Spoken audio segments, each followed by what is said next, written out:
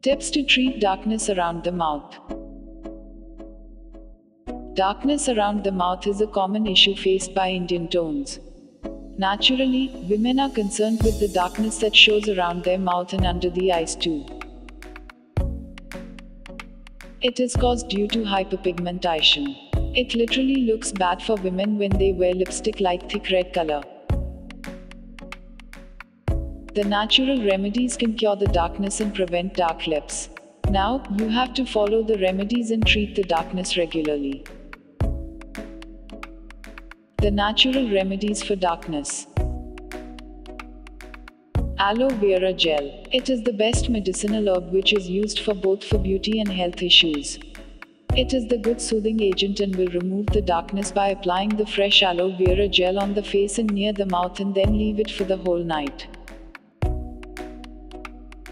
Lemon and honey. The mixture of honey and lemon can reduce the skin darkness around the mouth and lips. Apply the mixture every day and get rid of the darkness or skin pigmentation. Tomato juice. Apply the tomato juice over the dark skin and leave it for 30 minutes.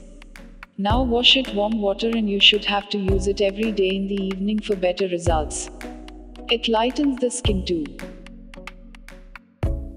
Lemon juice. It is the best and perfect bleaching agent. Use the lemon juice around the mouth and lips over the dark skin and rub it gently.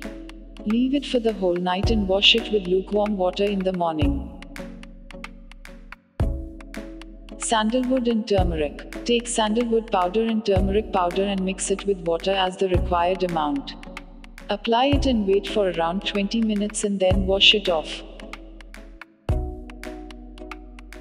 Sugar and lemon juice. The glycolic acid present in the sugar and lemon is the best bleaching agent.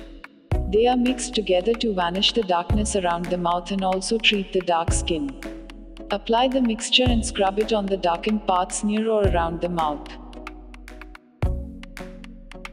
By following these natural treatments continuously, you could vanish the darkness around the mouth and lips.